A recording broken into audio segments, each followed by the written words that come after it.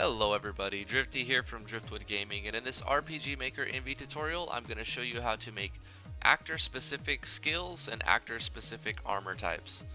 So say you've got this relic piece of armor and you uh, only want it to be able to be used by one actor because it's, spec it's specially designed for them.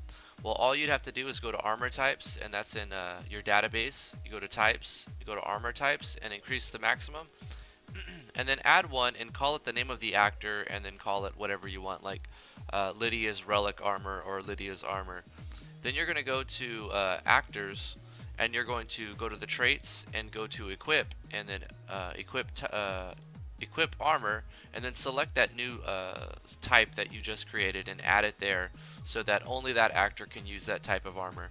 Then when you make your armors all you're going to have to do is select the armor type of that player's name and whatever uh, affix you gave it right there. So setting Lydia's wild armor to Lydia's armor and uh, she's the only actor who can use that armor.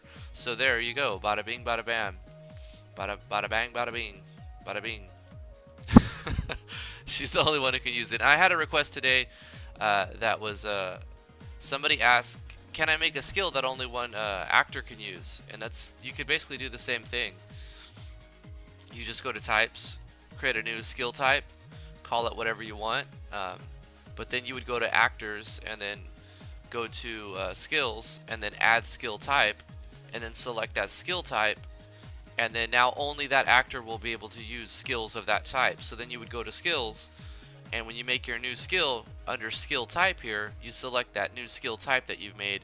And uh, whatever skill you make this as long as you award it to the actor um, or the class that that actor is going to be um, even if it's awarded to a class if that class doesn't have the ability to use that skill type they won't have it. So there you go.